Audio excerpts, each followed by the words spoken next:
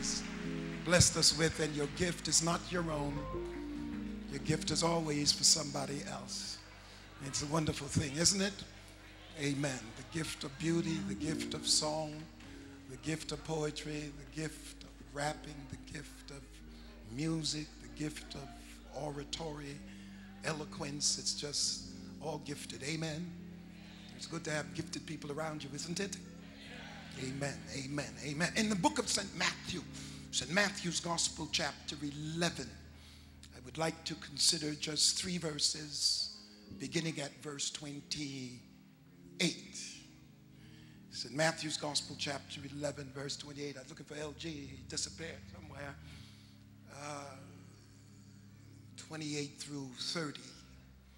And it says, Come unto me, all ye that labor and are heavy laden, and I will give you rest. Take my yoke upon you and learn of me, for I am meek and lowly in heart, and ye shall find rest unto your souls. For my yoke is easy and my burden is light. Uh, let's look at somebody and tell them, whatever you're going through, It'll be all right.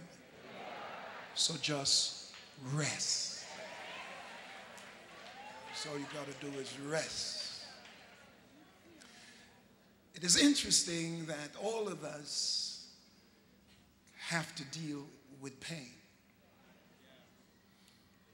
There's absolutely nobody here that does not have to deal and understand pain and to operate within the parameters of pain, regardless of how you hurt pain. And I've learned something about pain. It's very individuate, it's very idiosyncratic to the point that no one can actually share exactly how you feel. We can go through the same circumstance, same situation, and the individuals right beside us, no matter how they care about us, nobody can actually feel what you feel to the same level. It's one thing about pain and your concept of God. It's so uniquely yours that it cannot be imitated or duplicated. It's just yours. But I've also found out in, in my own personal life that I either have the pain of discipline or I end up with the pain of consequence. It's either that I control the pain to keep me walking within the right parameters and the right place, or I end up being dangled by the pain of consequence. You're either going to have pain up front that you can control, or you're going to end up with pain of being controlled by circumstances because you didn't control yourself going in. Mm-hmm. Uh, yeah, you, you're going to hurt. You're either going to hurt with the discipline of doing what is right, or you're going to hurt with the consequences of doing what's wrong. It's, there's, there's absolutely no way because every human being has to deal with issues of pain. Sometimes, in order, we try to, uh, what I might say, uh, medicate ourselves. And we oftentimes seek things to make it less painful. Men have a way of reaching into a sexual situation simply because they're trying to ease the pain. And many times we think that sexual encounters eases pain. 15 minutes to get into something and 15 years to get out. And I said to one of my friends once, I said uh, that the, the, the, you know, I've got to word it properly so that I won't, uh, you won't blog me. I, I, said that, that the sex that you're getting, is it worth the sex that you're going to get? I, did, I didn't say it like that. Uh, you, you, you, understand how I said it. Uh, oftentimes, the pain of eating properly and the discipline that comes with having to turn away the things you like the most oftentimes saves you the pain of disease. Because once it begins to flow and once the consequences begin to come, then you oftentimes wished that you had done the right thing in the first place. Because either you're going to have the pain experience early that is controllable, or you're going to have the pain experience that you cannot control. The pain sometimes of uh, not partying, the pain of not being out and running around all the time, and the pain of staying home and doing the discipline in the books, and the pain of ending up with a master's in business and speaking Mandarin, the pain not being out with everybody else while they're partying and dancing uh, leaves you ultimately with the strength of being able to take care of yourself. So while others didn't want the pain of studying, they wanted to, to play. Now they end up with the pain of having to look to everybody to make their lives work. I told somebody once, I said, You'll take my money, but you won't take my advice. But if you took my advice, you won't need my money because you have your own. I feel something pushing me here. Uh, you're going to have to deal with pain. And it's better to have the pain of being by yourself than to have the pain of being with somebody that's crazy. Amen. It's better have the pain every now and then uh, get lonely than to be around somebody who's so crazy. Amen. Uh, you know, oh, Lord, help me with this today. Uh, it's, it's, it's an important piece because Jesus is saying that there is something about my yoke. I'm not saying that I'm not going to yoke you, but I'm simply saying that it's better to trade your yoke in for my yoke because my yoke is easy and my burdens are light. Ooh, I feel it here. Have you ever been around somebody who, uh, you know, might be beautiful? I use the word all the time, and handsome and beautiful, but it's just a lot of tension.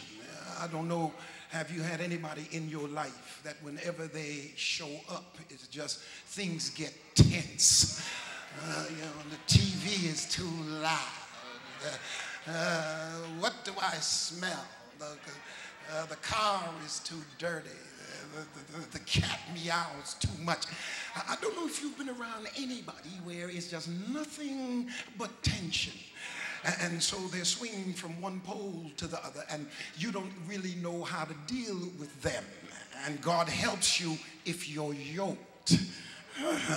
and you can't break the yoke because the yoke is two oxen together going and plowing together and they're tied in together. You see, what Jesus is saying is when you come to me, I'll make your yoke easy which means don't come to me with anybody who doesn't want to be with me. Because uh, because if you come to me then you will bring somebody with you who wants to be with me.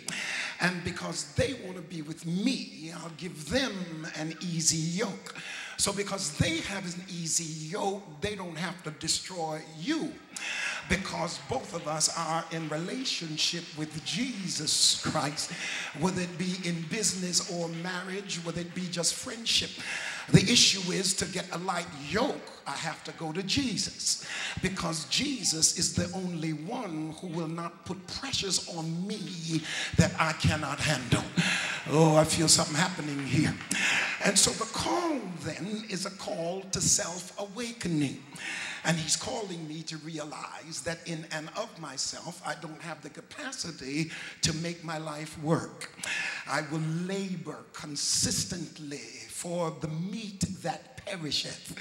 And I'll never get to the place where I can relax in who I am because the only way to get to know who I am is to get close to Him. It is a call to self leaving. It is a call to have to admit with all the pride that you have that you are not all that much without him. Uh, it's a call to self leaving. Do you remember when the Bible says that you must leave and cleave? And it's talking about coming into the world and then choosing a mate. What he's saying to me is, you came in one way, but I want you to leave the place of your birth. And I want you to cleave to me because what I have, you need to get through life. In other words, I don't need everybody to make my life work. I just need Jesus to make my life work. Because a man can't give you Jesus, a woman can't give you Jesus, a car can't give you Jesus, a house can't give you Jesus, but Jesus can give you a man and Jesus can give you a woman, a house, and a car. So, what he's saying to me is you're running around trying to do things for yourself that I would do for you if you take on my yoke because my yoke is easy and my burdens are light. Can I talk a little bit about just the invitation? The Grammys are going on today, and many of us are not there because we didn't have an invitation. And the Bible is full of invitations because what God is saying, if you ever want to be safe, you have to come to me. And the call was in Genesis when he said to Noah, Come thou and all thy house into the ark. It was an invitation to safety. And that is, I'm getting ready to wipe the world out. But if you come, I will protect you and your whole house. Do you know how many of your family members been protected simply because you came. And what he realizes is if he does not protect who you love, then the yoke won't be easy. So he protects who you love in order to keep your yoke easy and your burdens light. Oh, I feel the Holy Spirit. He moves in the space that you pray and he blesses the people you pray for because your motivation to pray for them is driven by his need to keep your yoke easy. And he realizes if your families fall apart around you, that it's going to destroy the very mood that he has established. So the call is come, come. Then, of course, Moses said to Hobab, he, the son of Rachel the Midianite, he said, Come with us and we will do you good. It's good to have people around you who come to you and you to them. And anytime you're in their presence, something good comes about it. Because many of us don't trust like we should because we've been hurt with people so horribly because we gave all that we had only to get nothing in return. Because everybody that you get close to will not do you good. But when you take on the yoke of Jesus Christ, he will scream who gets into your space. And I've got news for you. Sometimes he'll reach in your space and snatch them out. Uh, I feel like preaching now. Uh, the problem with us is we keep going back to reach for people that God is moving out of our lives. Because what he's saying is uh, your yoke is not easy with that person or this person or the other person, but I'll make a person that I'll fix your yoke and make it easy. Can, can I preach like I feel it? Uh, have God around is to have power around.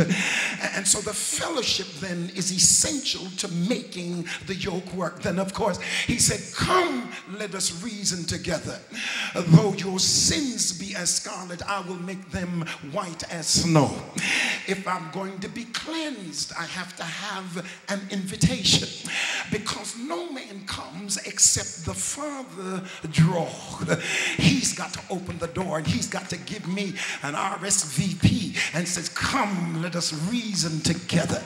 I need you to rest enough to come and sit and talk with me because I can fix all the things you're trying to fix that you can't get done. And if you just spend some time with me, I'll fix everything that's broken in and around your life. Come. I wish somebody would say, I'm coming, Lord. Somebody say, I'm coming. Uh, and then he says, of course, satisfaction. Uh, God, the only way to get satisfaction is he says, Oh, everyone that thirsteth, come. Come ye to the waters, and he that is miserable, come. If you're hungry, come and eat, because in my presence is everything that you need to make your life work. I to find satisfaction out of God, and all I've ended up with more pain than I need. Because everything I reach for to satisfy me ends up biting me. See, what I'm learning now is, Lord, you do the choosing, and let me not do my own choosing, but you do the choosing for me. Because everything I choose puts a yoke around that's about to choke me to death. But Lord, you promise me, come. Uh, take my yoke upon you. Can, can, I preach just a little bit longer? I'm not going to keep you all, all day. He, he says, the gospel feast in Matthew 24, the feast, he says, Come for all things ready. You don't have to prepare anything, I've got it all ready. All I need you to do is show up. Uh, just tell somebody, show up. Uh, show up, you ain't got to cook. Show up, you ain't got to wash any dishes. Show up, you ain't got to work it out. The Lord said, All I need you to do is come because I got everything ready. And when God puts something together, there is no devil in hell that can break it up. And I've got news for you. There are some things that He has made custom just for you.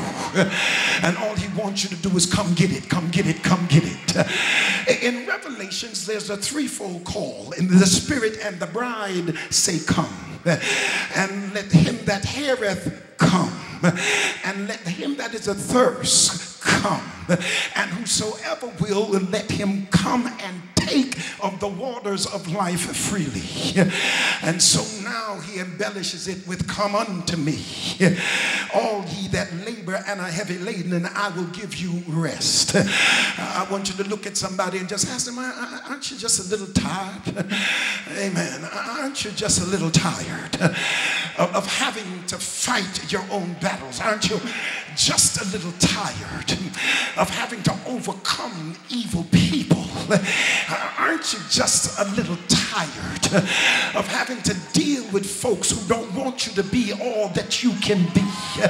Aren't you just a little tired of being limited by small thinkers who happen to be in control of your space? What the Lord said to me is, Come come unto me because certain people can't come with you because they can't come in my space. Something about my anointing stops them at the door and you can step right into his presence and they can't come with you. I'm here to tell somebody the Lord is saying to you, come. Because if you come to me, I'll eliminate who is holding you down. Just come, just come, just come. And don't worry about the rest of them. Just come. Because if you come, I'll make it all right.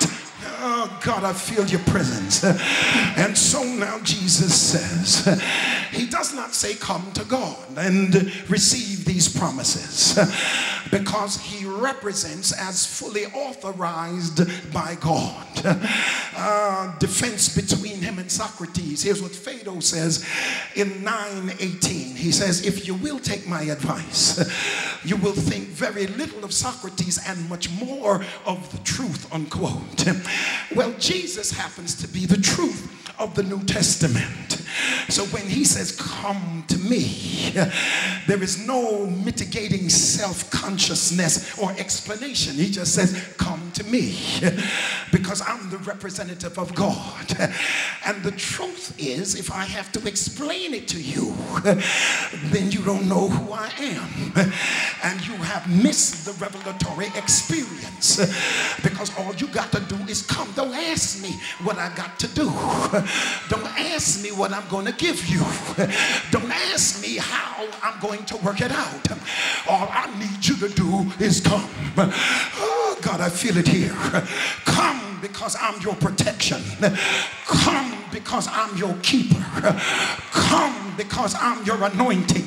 Come because I'm the power that declares weeping may endure for a night, but joy cometh in the morning. Come because when you're with me, no weapon formed against you shall prosper.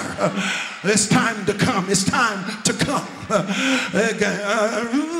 It's time to come. He says, Come here to me, all ye who are working hard.